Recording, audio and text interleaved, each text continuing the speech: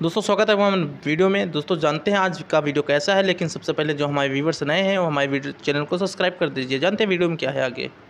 देश कितना ऐतिहासिक दिन था, चौदह सात दो हज़ार तेईस।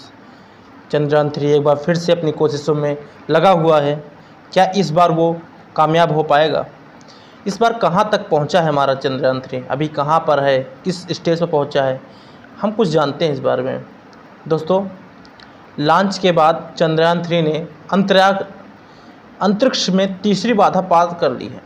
चंद्रयान थ्री ने दूसरा ऑर्बिट रेजिंग मैन्यू सफलतापूर्वक पूरा कर लिया है।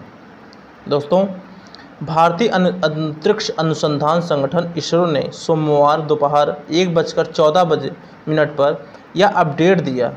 इसरो के मुताबिक चंद्रयान थ्री की लोकेशन अब इकतालीस हज़ार छः सौ तीन kilometre multiply by two two six orbit में है। दोस्तों, अब ये कहाँ तक पहुँच गया है? दोस्तों, मैंने इस चीज़ की जानकारी आपको तो दे दी। दोस्तों, जो चंद्रयान थ्री का सफ़र है, वो कितने दिनों तक है? दोस्तों, आप तो जानते हैं, ये चौदह सात दो हज़ार तेईस को यहाँ से उड़ा था और ये लैंडिंग करेगा लगभग तेईस अगस्त को। ऐसा इसरो के वरिष्ठ वैज्ञानिकों के द्वारा सूचना मिली। ऐसी बात है और ये बयालीस दिनों तक इसकी जर्नी रहने वाली है। ये अपने बयालीस दिन में पूरा काम कर लेगा। दोस्तों, क्या हमारा देश ऐसा पहला देश होगा जो हमारा चंद्रयान को उतरते ही इस मुकाम को हासिल कर लेगा?